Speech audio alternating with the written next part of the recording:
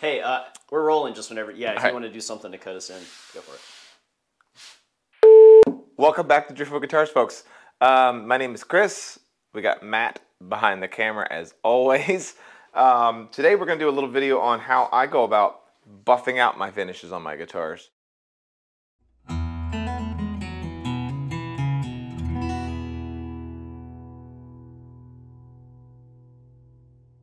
Um, this is the guitar that I did when I uh, for the pore filling series.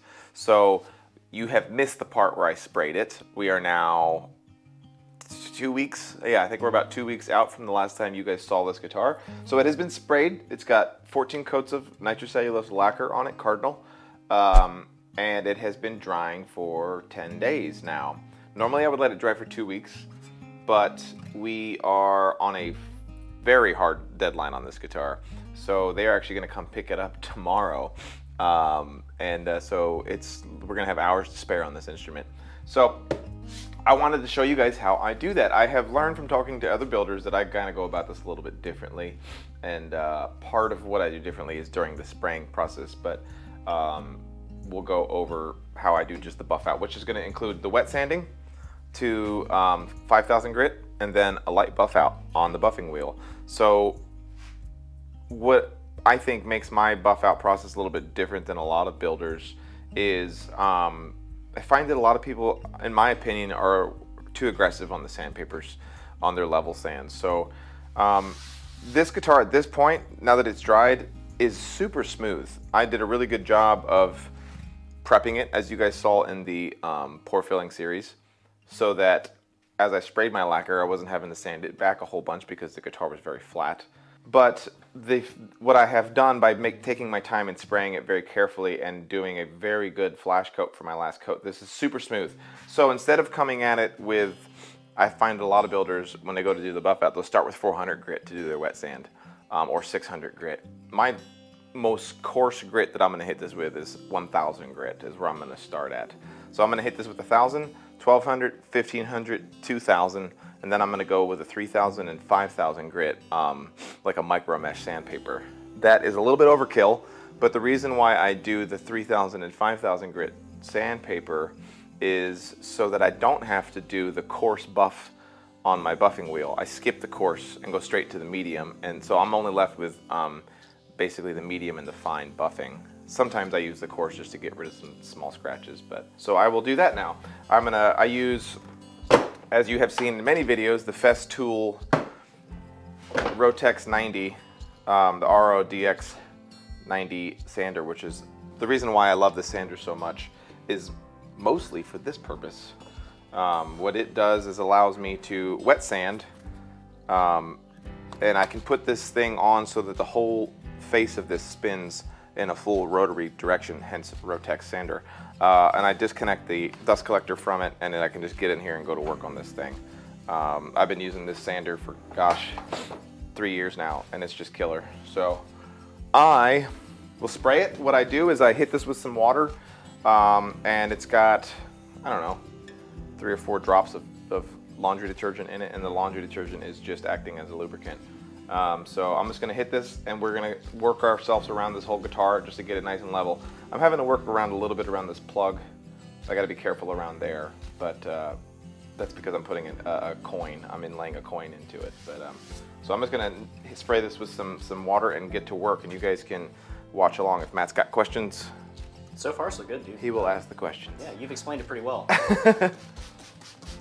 Trick is to really make sure that you keep it nice and wet. You don't, the, the point of the water is to extract any sort of particulate matter that is coming off of the lacquer. And because what you don't want to do is grind that back into the finish. That's how you, you start chasing your own tail and you have swirl marks all over the whole guitar. So more water, the better. Um, you just took the um, exhaust off of your uh, sander just to keep water from blowing into it? yeah, because this has got a dust collection system on it and I don't want it to suck up water. Right. So um, it's a pain in the butt to fully disconnect. But uh, I've also set my sandpaper up so that the holes do not align. Um, so that that way it's not trying to suck up a bunch of water into it. But yeah, so we're just gonna go to work on this real quick.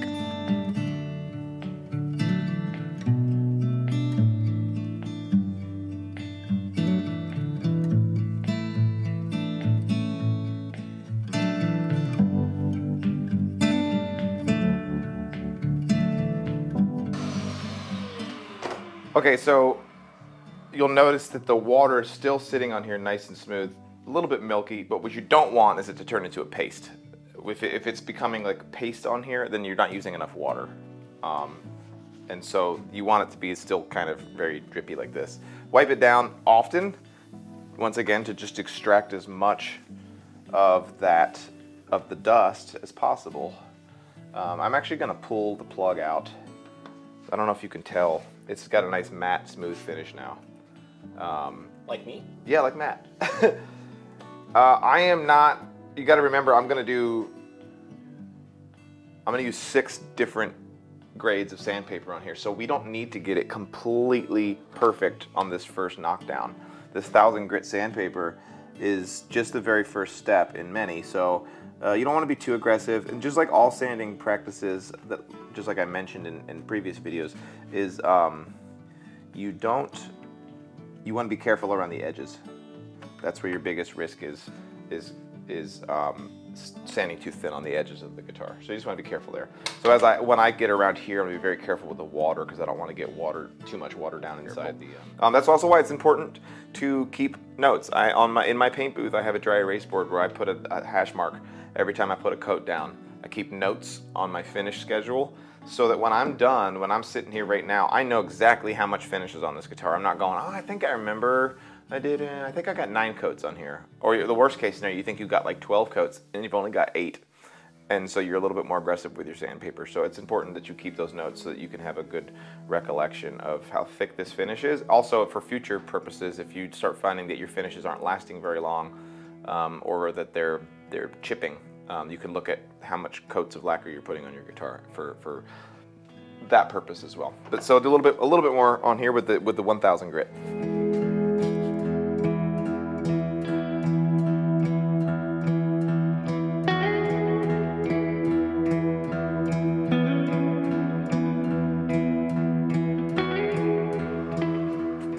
Okay, so I am pretty happy with that. Um, something I was thinking about just then was uh, another advantage to starting out with a thousand grit sandpaper as opposed to 600 is because I'm, I'm only going to be taking off the tiniest little bit.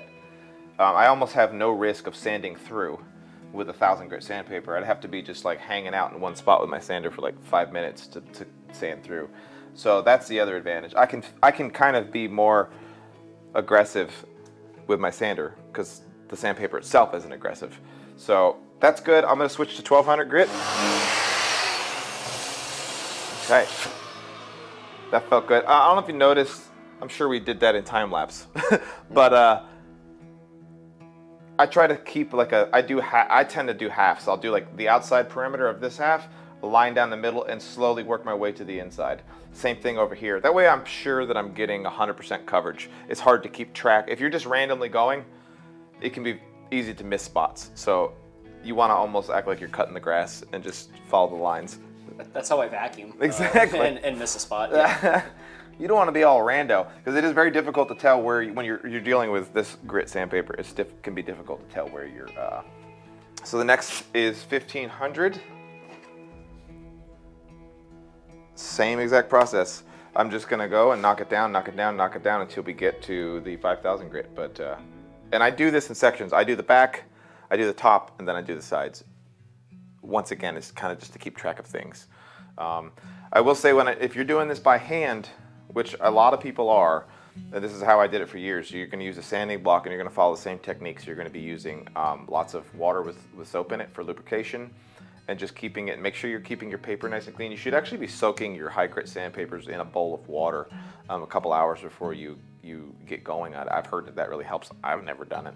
Uh, but um, just making sure that you're once again not grinding in the finish into scratches on the, on the top. But uh, this, I went from taking a full day to buff out guitars to when I switched over to this, I can do a full buff out in like an hour and a half, which is We'll wipe her down again. You're gonna go through a lot of paper towels with this. I would rather have a bunch of throw out paper towels and keeping this super clean than not wiping it down and being all caked on. So that's it. Like, even if we don't do time lapse, I think Matt and I have been, what's the camera say? 16 minutes. and that includes talking, that we're already, I could take this to the buffing wheel now if I wanted to, if I wanted to go straight to the coarse. Um, but if you have a good sander and you and you've done a good job on your on your lacquer spraying and gotten the surface super flat, um, you you'll save a bunch of time here. I um, I keep talking about the previous video, but you'll hear me say in the the um, pore filling and the finish prep video, you're gonna have to spend the time somewhere. So because I spent the time on the prepping end, it took me 15 minutes to get this guitar ready for buffing. Um, if I wouldn't have taken the time on that, I'd be spending more time here. So that's just how I like to spend my time. Um, like I said, I could buff this now. Can you get a shot, Matt, of, to see how you can just start to see it's starting to get shiny. It's starting to get to a point where at an angle, it'll be uh, it'll catch the light from over here. Um, so you could buff that. So what I'm going to do now is I've got these Festool. This is a 2000 grit, but it's like a it's like a meshy, soft foam, weird. I don't know if you call it sandpaper. It's interesting. That's the 2000 grit, and then I've also got somewhere around here my 3000 uh, grit. I actually get this stuff from the O'Reilly Auto Parts. It's a 3M 5000 grit micro mesh uh, uh, Trizact, and I've I've got in 3000 grit too. I'll put links in the in the description on here for all the sandpapers that I'm using. Um, I'll put them for the Festool sanders as well as um, for hand sanding um, so that you guys can get this. This stuff, this 3M Trizact stuff has been incredible for, for getting really good finishes. But So we'll do the 2000. I put this on the full rotary mode. This almost doesn't actually take off anything. You, you'll see that I'm not getting like a milky surface on here with this.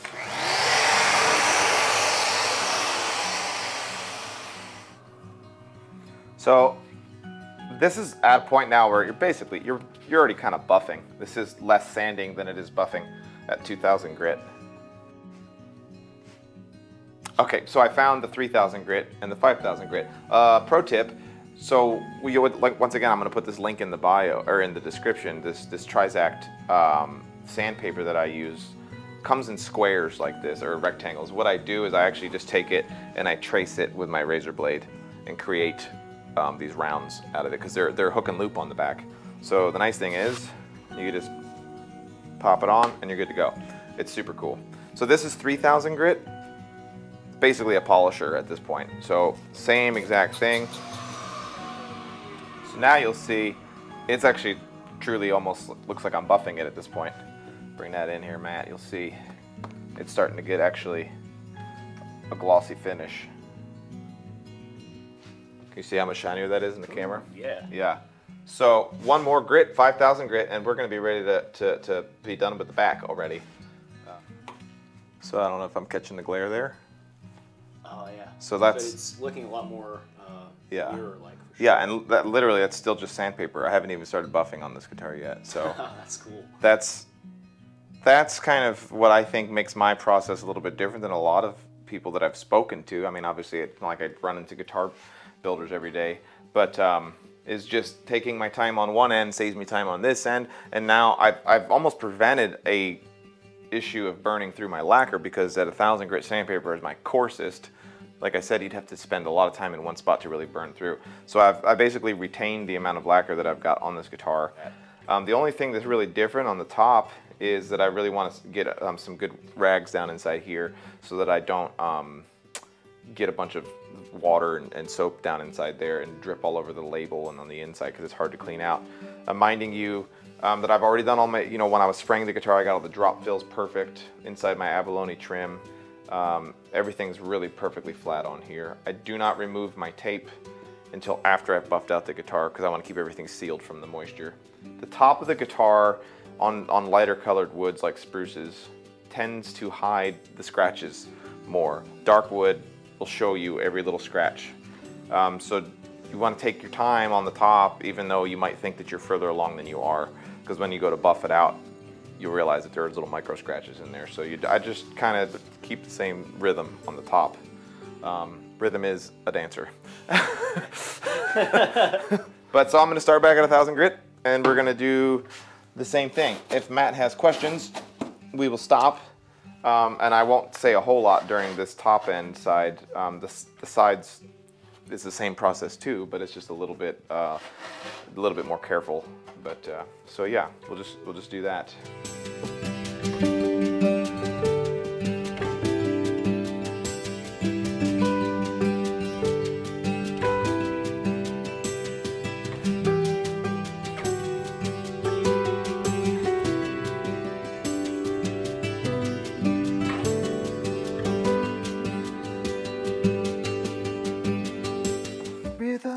Dancer. No, da, da, da, da, da.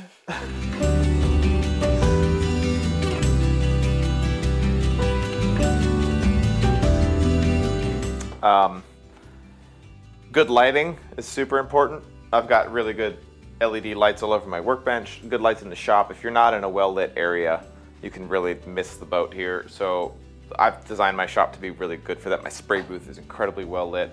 That's that's a consideration too when you're doing your buff out is make sure you're in a good area.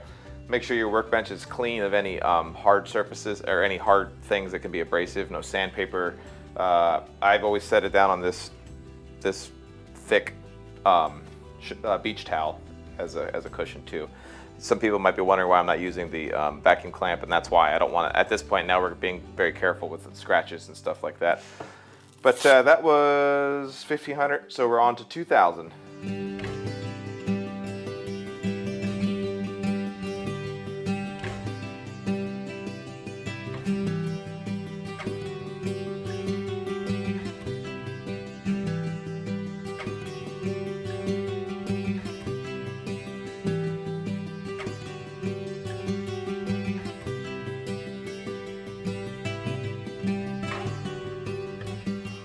Okay, so the top is done, back is done.